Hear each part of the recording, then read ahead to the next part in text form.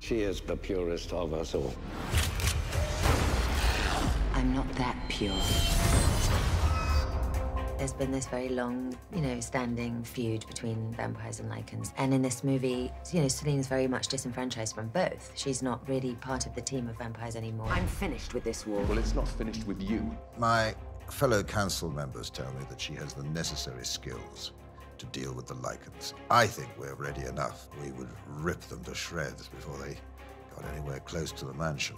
There are those who are less confident, I suppose. There's never been a large-scale like in the town. Because of what's happening amongst the lycans, they're organizing themselves into a much more formidable force than they have been. It's some sort of bullet. It's burrowing through you faster than you can heal. These lycans are sophisticated. Now there is a new war, and there's a new bad guy, and his name is Marius.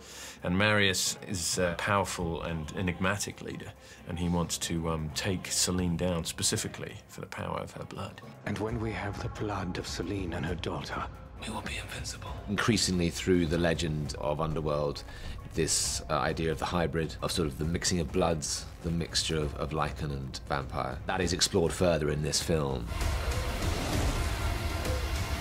I really do like the fact that there's all these new different characters and there's such a transformation going on for Selene in this movie and, and the stakes are very, very high.